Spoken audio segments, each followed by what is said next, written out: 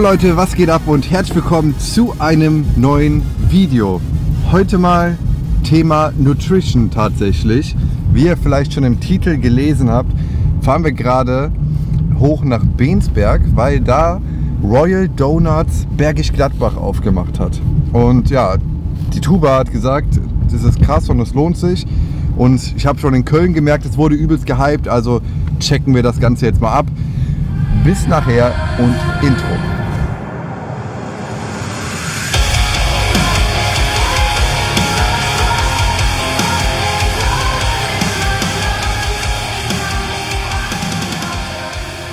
Ja, ich habe gehört, die Dinger sollen richtig teuer sein.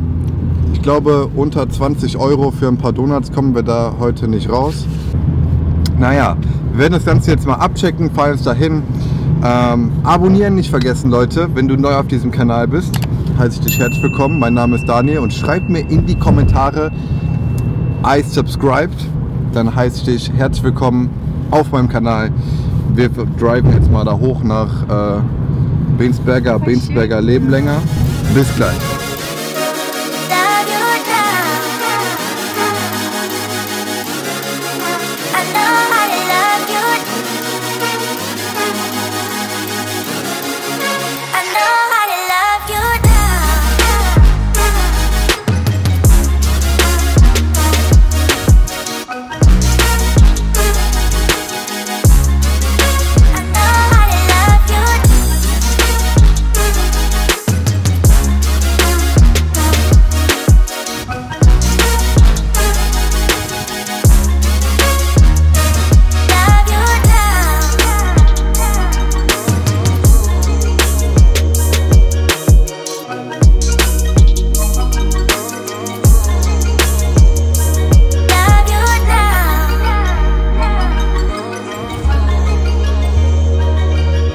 Okay Leute, wir haben es geschafft.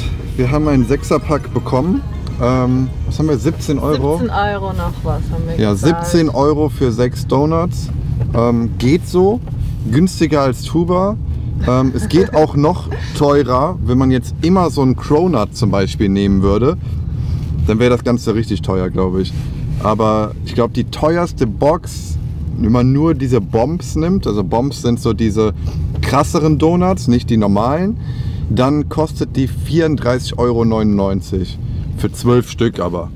Und wenn man nur eine volle Box nimmt, nur Bombs für 6, kostet die 19 Euro. Und die Standards habe ich gerade nicht mehr im Kopf. Aber die Standard-Donuts sind eigentlich langweilig. Ich muss ehrlich sagen, Dunkin' Donuts ist einfach nicht so krass. Nee, fand ich auch nie. Also ich fand das nie so heftig. Grüße gehen raus an Hasem, Hasem Abu Shaban, wenn du das hörst. Vielen Dank, dass du immer nach Siegburg mir Donuts von Dunkin' Donuts mitgebracht hast. Oha. Ich habe das immer sehr gefeiert, aber trotzdem Dunkin' Donuts ist nicht das krasseste. Ja, wir fahren jetzt nach Hause und dann überlege ich, ob ich erstmal was Herzhaftes frühstücke. Oh ja, lass uns Frühstücksburger machen und dann danach die Donuts essen. Okay, also machen wir einen Frühstücksburger. Geil. Und danach essen wir die Donuts und dann geben wir Feedback. Wir haben auch vegane Donuts, ganz wichtig ja, zu sagen. da bin ich auch sehr gespannt. Ähm, und dann geben wir euch Feedback dazu. Bis gleich. Er hat einfach schon jetzt einen Zuckerschock, nur weil sie die Donuts gerochen hat.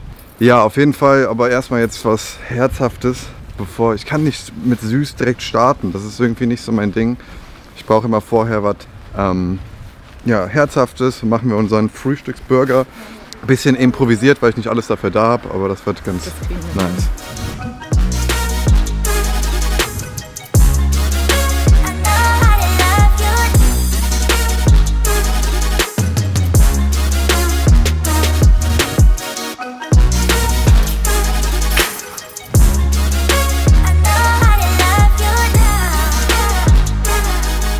Yes, was brauchen wir sonst?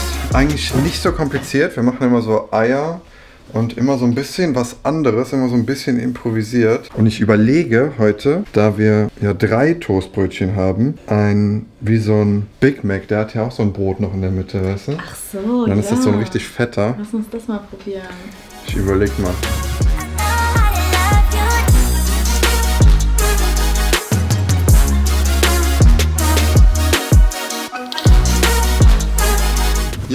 fast durch. Die ersten Toasts sind jetzt ready.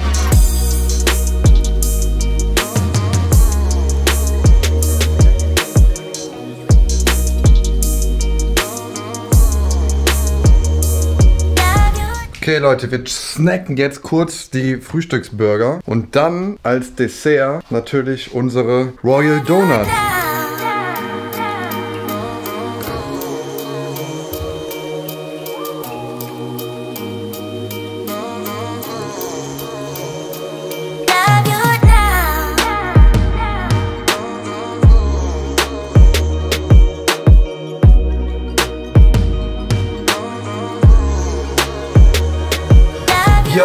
Ist soweit. Wir testen jetzt die einzelnen Donuts. War auf jeden Fall sinnvoll zuerst was herzhaft zu essen, weil vorher hätte ich echt keinen Bock gehabt. Ja, das ist das Paket. Sechs Stück sind drin. Du hast dir zwei ausgesucht und ich habe den Rest ausgesucht. Ja, ne? so ungefähr. Also ich habe einen veganen mit äh, Brezeln obendrauf und den Maxi King, der war mega gehypt. Vielleicht zeige ich den mal als Willst erstes. du Teller drunter tun oder so? Oder Vielleicht. schaffst du es so? Ich probiere mal so. Boah, es gibt eine Riesensauerei. Das ist der Maxi King. Ich hole einen Teller. Okay. Ich kann nämlich null essen. Ja, bei mir ist es wirklich so, dass immer alles runterfällt. Also Daniels Seite ist immer so richtig ordentlich und meine Seite immer nur voll mit Krümeln. Und Dankeschön. Sollen wir den als erstes testen, den Maxi King? Ja, hau rein. Okay, ich versuche. Oh mein Gott. mm. mhm. Boah, der hat sogar eine Füllung. Oh mein Gott. Probier mal. Ich weiß gar nicht, wie man das oben essen soll. Einfach reinbeißen. wow. Der ist schon heftig, oder? Hm, ist schon okay, Boah, aber wäre jetzt nicht so mein Ding. voll mein Ding. Ich habe einen veganen. Ich werde auf jeden Fall den veganen zuerst probieren. Ähm, das ist dieser hier. Der ist einfach mit ähm, ja, so Marzipankugeln oben drauf. Und Ich habe Marzipan übelst gefeiert als Kind immer. Ich mochte früher nie Marzipan und dann irgendwann kam das, also habe ich so einen Wrap gegessen mit Marzipan drauf. Seitdem mag ich das. Möchtest du eine Marzipankugel? Eine Kugel. Mm. Und Hm, ist okay. ich beiß auch einmal rein. Ich finde, der Teig ist halt nice, Mhm. aber nicht so krass, wie ich mir gewünscht hätte. okay. So, eigentlich können wir ja direkt als nächstes den zweiten vegan testen, den ich mir ausgesucht habe. Ich esse den erstmal auf jetzt. Oh mein Gott. Es klebt. Der klebt übelst fest. Scheiße.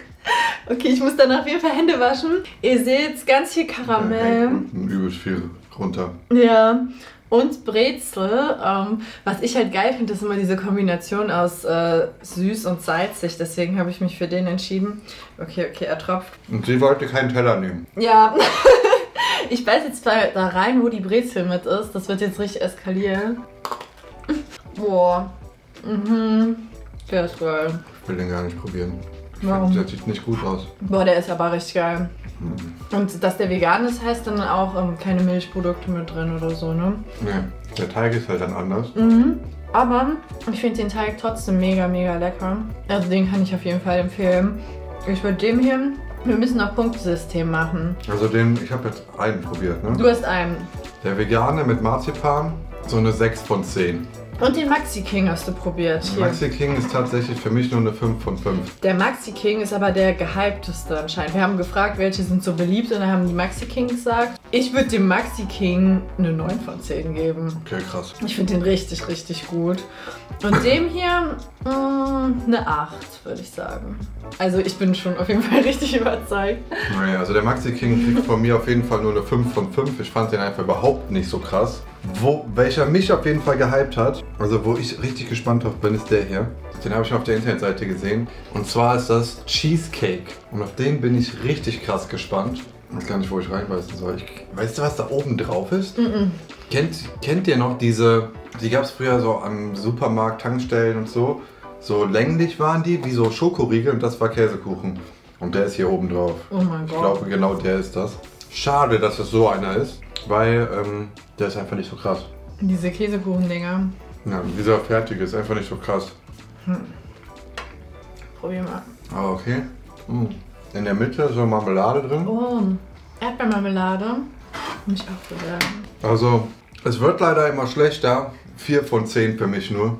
Mhm. Ist einfach nicht so krass. Habe ich mir echt mehr von erhofft. Aber ähm, zwei sind hier noch drin. Und die sind richtig schokoladig, was Ich würde ihm auch ähm, nur eine 5 von 10 geben, weil ich stehe nicht so auf ähm, so Kuchenkram, sondern ich stehe halt eher so auf Karamell und Schokolade und so. Und deswegen ist das nicht so sehr meins. Ich finde, der schmeckt ein bisschen wie ein ähm, Berliner. Ach, auf der anderen Seite ist Schokofüllung. Oh mein Gott, und ich habe die Erdbeerfüllung erwischt. Oh Auf der anderen. Seite ist Schoko drin. Und hebt sich deine Bewertung nochmal an. Wenn er komplett mit Schoko wäre. Mhm. Moment. Dann habe ich gleich überall Donut in der Nase. hm, würde eine 6 kriegen. Nee, das Erdbeer ist echt nicht so geil. Mhm. Wie viele Kalorien essen wir jetzt gerade? Direkt mal zum Start 3000 Kalorien reingeschleppert. Zu viele. Boah, hier ist noch diese ganze Karamellsoße. Ich muss auf jeden Fall jetzt erstmal Hände waschen gehen. Mhm. Weil der Vegane mit der Brezel ist Katastrophe zu essen. Aber ich kann ihn empfehlen. Nein, da ist noch mehr Marmelade. Ist viel Marmelade drin. Ich kann euch sagen, diese 6er Box reicht dicke. Ihr braucht für euch alleine, also mir hätte zwei Stück jetzt gereicht. Mehr hätte ich eigentlich nicht gebraucht.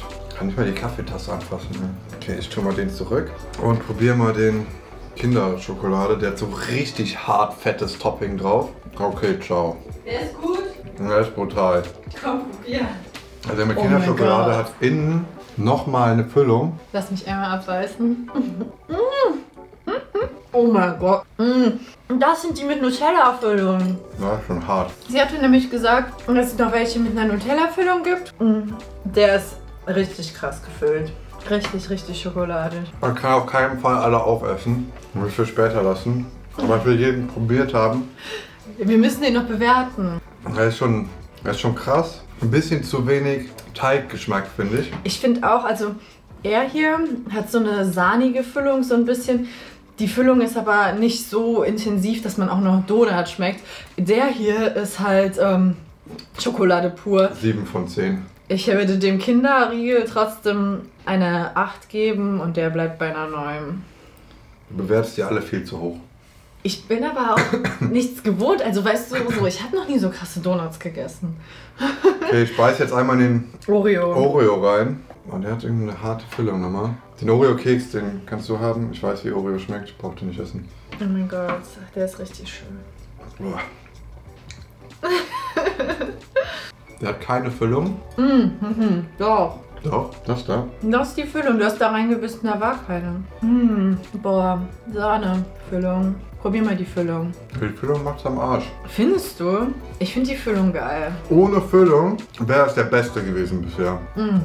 Weil der nicht zu, so zu krass viel nur Topping, dies, das. Du schmeckst von gar keinen Donut mehr. Mm. Deswegen, ohne Füllung wäre das mein Favorit gewesen. Krass. Ich hatte gerade ein Stück mit Oreo-Keks. Das war krass. Der kriegt von mir auch eine 9 von 10. Also Oreo und der sind meine Favoriten. Die beiden müsst ihr euch auf jeden Fall holen. Okay, Leute. Ähm, ich glaube, Royal Donuts gibt es fast überall mittlerweile. Übrigens, das ist jetzt kein Sponsoring, wir haben das selber bezahlt. Ja. Wir hatten einfach nur Bock, das zu testen, weil es halt so einen übelsten Hype hatte. Die Leute standen selbst, wir waren jetzt um 12 Uhr da und die Leute standen trotzdem draußen Schlange. Deswegen ähm, wird es auf jeden Fall heftig gehypt. Ich kann jetzt auf jeden Fall, könnt ihr jetzt erstmal gerne Pizza vertragen. Ich esse noch ein bisschen. Den hier willst du ja wirklich nicht, ne? Nee, zu viel, ey. Zu viel einfach. Dia ist noch ein bisschen. Ähm, ich verabschiede mich schon mal von euch. Vielen Dank fürs Zuschauen. Abonnieren nicht vergessen. Und wenn ihr irgendetwas habt, Restaurants, keine Ahnung, was wir mal ausprobieren sollen, haut's mal rein in die Kommentare. Ja, bis zum nächsten Mal. Macht's gut, dann gibt's auch wieder ähm, vernünftigen Content. Ähm, übrigens, hier sind Spritzen drauf. Das heißt, die sind alle auf Stoff, die Donuts. Scheiße, ich muss auch Hände waschen. Haut rein, Leute. Bis zum nächsten Mal. Ciao. Boah, richtig geil.